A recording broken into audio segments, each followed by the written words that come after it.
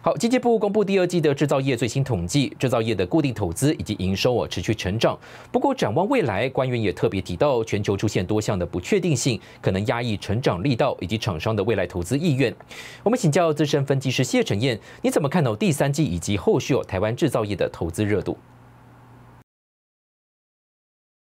哦，其实呃，观察第二季哦，最主要当然电子零组件的部分呢，占制造业呃。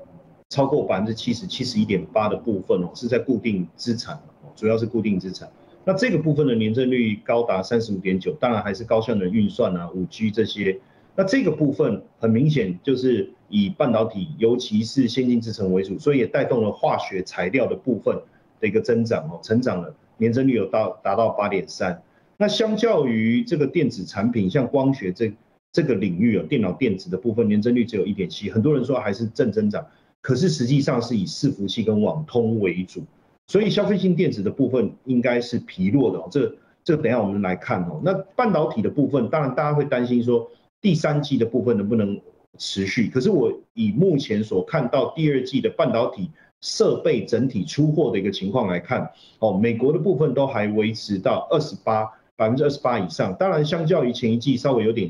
呃这个疲弱，但是还是维持。呃，很不错的一个正增长，欧洲的部分也有十二趴以上，所以这样看起来，在呃半导体先进制程部分的带动下，第三季我觉得整体制造业的一个产出的成长率应该还是维持不错，只是说大家会担心的是后续整个景气的状况。为什么会担心后续整个景气的状况？我觉得有一个数字可以先让大家知道，就是资通讯出口的部分，因为资通讯就是我们讲消费性电子。那这个部分的出口，八月份的呃出口值的年增率是负的一点六，所以我觉得目前我们所看到呃整个 PMI 就这大家对于我整个电子业未来经济状况相对比较悲观，还是主因还是落在消费性电子产品。哦，不论是笔电啊、电视啊、面板这一类，还包括手机，我觉得这个影响比较大，因为目前我们所看到这个数字。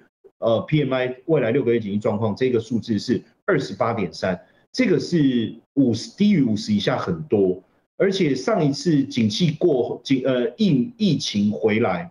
刚开始的时候大家会担心啊，所以那时候这个数字也很差，那时候是二零二零年四月的时候是二十五点七，所以很明显现在景气呃疫情已经大幅度的好转，结果大家还很担心，可见就是如进一步的报告所讲，大家还是担心俄乌战争。通膨对消费的这个意愿的一个影响所带来的冲击。那以目目前来看，我觉得消费性电子这个部分，因为混在整个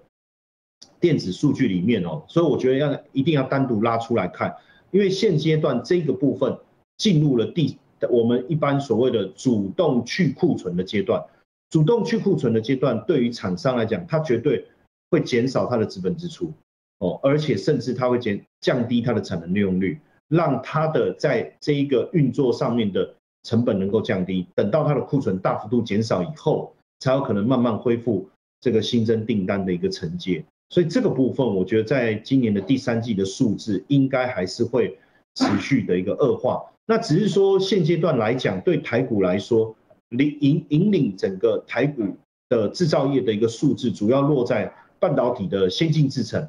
还有电动车电池以及能源。哦，新能源哦，尤其是绿能，像风力发电、太阳能相关的这几个产业，所以这个部分数字的增长，当然抵消消费性电子产业数字的衰退，所以看起来整体数字好像没有什么太大的问题。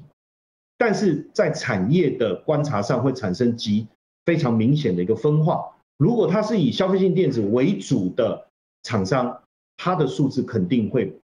持续的这个这个呃衰衰退哦，这我们会看到它的状况会是这样。但是如果是我刚才讲半导体先进制程，例如像高阶运算哦，或是电动车，还有这个呃我们讲电池这一个部分，还有新能源这个部分，它的数字就会有比较呃稳定的一个增长。所以未来产业分化的情况会越来越明显哦。所以呃大家在不论在投资啊，或者是整个产业的观察上，我觉得也要注意到这个部分的细节。